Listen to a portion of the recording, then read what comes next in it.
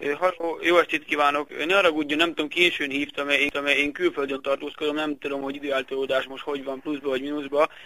Viszont olyan problémám lenne, hogy vettünk önöktől elég nagy tételben almát. Na most nekem van egy ilyen kisebb feldolgozóm, elküldtem az embereim, bevitték, mikor elkezdték felezni, észrevették, hogy az almának a közepében nincs semmi, hanem bele van szarva.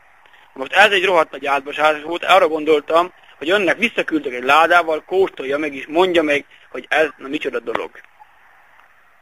Milyen dolog ez, hogy beleszarnak az alma közepébe? Hát ezt, hogy a, a kisgyerekeknek az óvodába ebbígyanak alma levet?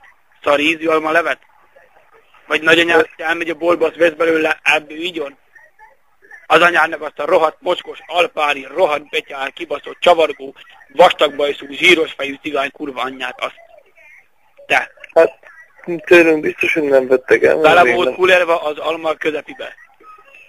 És még volt benne középen egy bogár is. Némelyikben. Van, amelyikben ilyen negrós papírt találtunk. Hát ez milyen dolog? Mi? Hát, tőlünk biztos, hogy nem vett, nem vett ezt. Nem? A túljapának a bogyója az nem abban volt benne? Biztos, hogy nem. Berki Attilának a lábáról a körmöt is megtaláltuk benne. Azt honnan szedtétek össze? Azt mondd meg nekem.